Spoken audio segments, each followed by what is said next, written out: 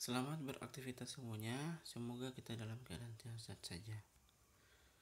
Uh, kali ini saya akan menjelaskan tentang siklus nitrogen pada perairan tambak udang. Seperti kita ketahui bahwa pada perairan tambak udang itu atau pada tambak itu terjadi siklus nitrogen pada perairan tambak. Yang pertama fiksasi nitrogen yaitu suatu proses pengikatan nitrogen yang dilakukan oleh fitoplankton maupun bakteri. Nitrogen yang diikat dari air umumnya berupa amonium dan nitrat sedangkan dari udara yaitu gas N2. Kemudian asimilasi nitrogen yaitu suatu proses perubahan nitrogen anorganik menjadi nitrogen organik oleh organisme autotrof khususnya fitoplankton.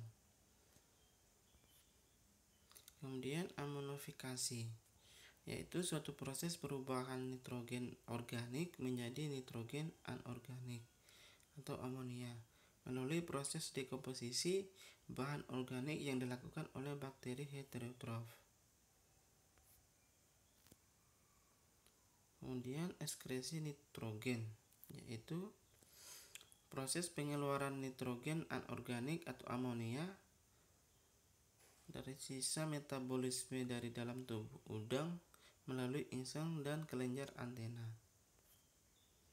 Kemudian nitrifikasi, yaitu suatu proses bioksidasi untuk merubah amonium menjadi nitrit dan nitrat menjadi nitrit menjadi nitrat oleh bakteri nitrifikasi.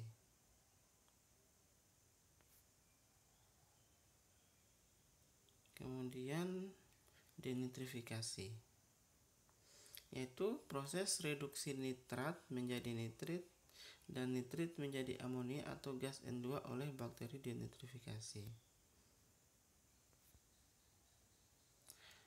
Sekian dan terima kasih. Eh, semoga dapat bermanfaat dan bisa menambah wawasan. Lebih dan kurangnya mohon dimaafkan.